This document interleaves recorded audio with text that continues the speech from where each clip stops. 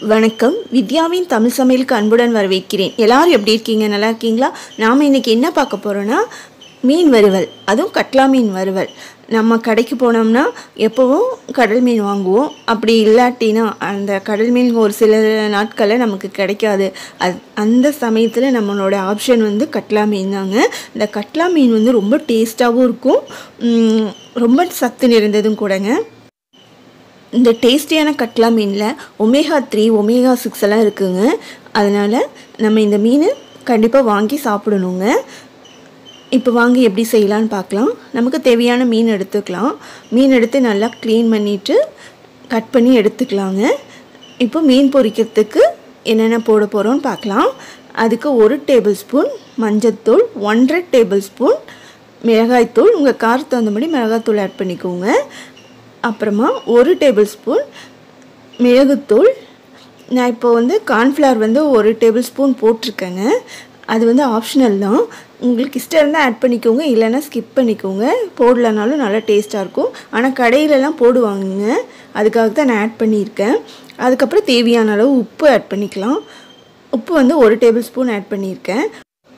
ஒரு table spoon தேங்காய் எண்ணெய். அதுக்கப்புறமா ஒன்றரை டேபிள் ஸ்பூன் வினிகர் இல்லைன்னா எலுமிச்சம்பளை சாறு. இது ரெண்டில் ஏதோ ஒன்று கண்டிப்பாக ஆட் பண்ணிக்கோங்க. இது போடுறனால நல்லா மீன் வந்து டேஸ்ட்டாக இருக்கும். இப்போ நல்லா மிக்ஸ் பண்ணிக்கலாங்க. கொஞ்சமாக தண்ணி தெளித்து நல்லா மிக்ஸ் பண்ணிக்கலாங்க. ஏன்னா பத்தாது நமக்கு மசாலா.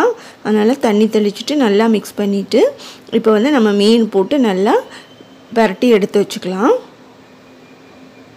ரொம்ப டேஸ்ட்டாக இருக்குங்க இந்த மீன். இப்படி நம்ம செஞ்சோம்னா கடையில் வாங்குற மாதிரி கடையிலலாம் நம்ம ஹோட்டல்லலாம் ரெஸ்டாரண்ட்லலாம் நம்ம மீன் இந்த ம இந்த ஸ்டைலில் தாங்க செய்வாங்க. அதே ஸ்டைலில் நம்ம இப்போ செய்ய போகிறோம் மசாலா எல்லா பக்கமும் படுற மாதிரி நல்லா திருப்பி திருப்பி போட்டு நல்லா பிசைஞ்சு எடுத்து வச்சுக்கலாம். நல்லா பிசைஞ்சு வச்சுக்கலாங்க. ரொம்ப டேஸ்ட்டாக இருக்கும் இந்த மீன் நம்ம இப்படி செய்கிறதுனால இப்போ நம்ம மூடி போட்டு அரை மணிலேருந்து ஒரு மணி நேரம் வரைக்கும் நம்ம ஃப்ரீசரில் வச்சுக்கலாங்க. ஃப்ரீசரில் வச்சுக்கலாம். அதுக்கு மேலே உங்களுக்கு டைம் இருந்தால் கூட நீங்கள் வந்து ஃப்ரிட்ஜில் கூட வச்சு நம்ம மீன் பொறிச்சிக்கலாங்க. இப்போ வித்யாவின் தமிழ் சமையல் சேனலுக்கு லைக் பண்ணுங்கள் ஷேர் பண்ணுங்கள் சப்ஸ்கிரைப் பண்ணாதவங்க கண்டிப்பாக சப்ஸ்கிரைப் பண்ணிக்கோங்க. ப்ளீஸ் கீழே இருக்க பெல் ஐக்கானையும் ப்ரெஸ் பண்ணிடுங்க அதில் ஆல்ன்ற ப்ரெஸ் ப்ரெஸ் பண்ணிங்கன்னா நான் போடுற வீடியோஸ் எல்லாமே உங்களுக்கு வரும். இப்போது நம்ம ஃப்ரை பண்ணி எடுத்துக்கலாம். அதுக்கு ஒரு பாத் ஒரு பேன் எடுத்துட்டு அதில் வந்து எண்ணெய் ஊற்றிக்கலாங்க அதிகமாக எண்ணெய் ஊற்ற வேண்டாம். கொஞ்சமாக எண்ணெய் ஊற்றிட்டு அதில் மீன் துண்டுகள் எல்லாமே அதில் போட்டுக்கலாம். ஒவ்வொன்றா எடுத்து போட்டுக்கோங்க. பார்த்து போட்டுக்கோங்க. எண்ணெய் தெளிக்கும். எல்லாம் அட்ஜஸ்ட் பண்ணி வச்சுட்டு ஒரு ஆறு துண்டு நான் அதில் வைக்க போகிறேங்க இந்த மீன் நல்லா பொரியட்டுங்க. நீங்கள் சாலோ ஃப்ரை கூட பண்ணி கொஞ்சமாக எண்ணெய் ஊற்றிட்டு வறுத்து கூட எடுத்துக்கலாங்க. ரொம்ப நல்லாயிருக்கும். இந்த மீன் வந்துட்டு இதே மாதிரி பொரிச்சிட்டு குழம்பு கூட வைக்கலாங்க. ரொம்ப டேஸ்ட்டாக இருக்கும்.